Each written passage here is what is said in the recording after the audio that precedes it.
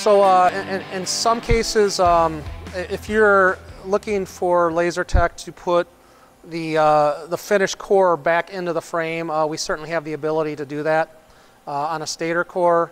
Um, if, it's a, if, it's a, if it's not a welded core, a lot of times they, they'll be press fit in. Um, so the next step uh, coming out of welding, a lot of, we'll, we'll try to weld the core ahead of time if possible so that all the laminations are perfectly aligned.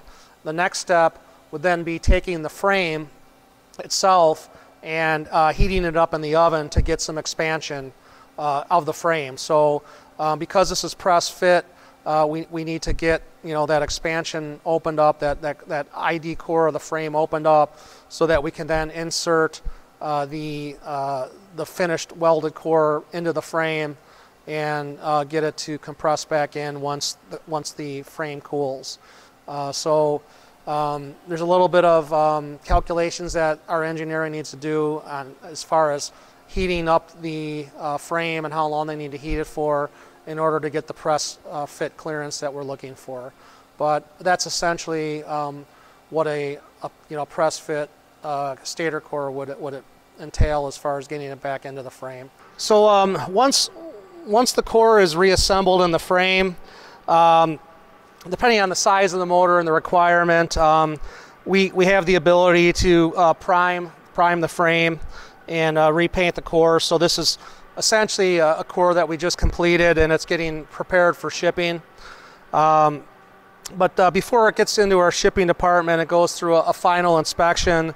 So again, all the key dimensions are uh, checked again by an inspector.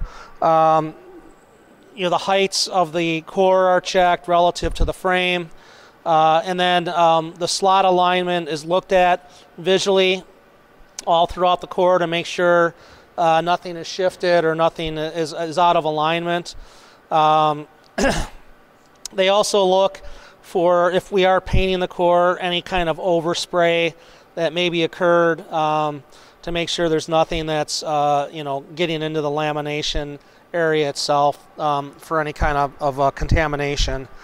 Um, also, um, everything that ships will be uh, fully certified. It comes with the COC.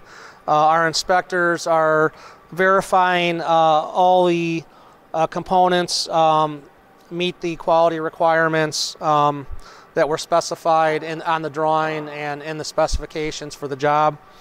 Um, and that all the certifications are, are going, going uh, with the job as well. So uh, there's full traceability on what we used.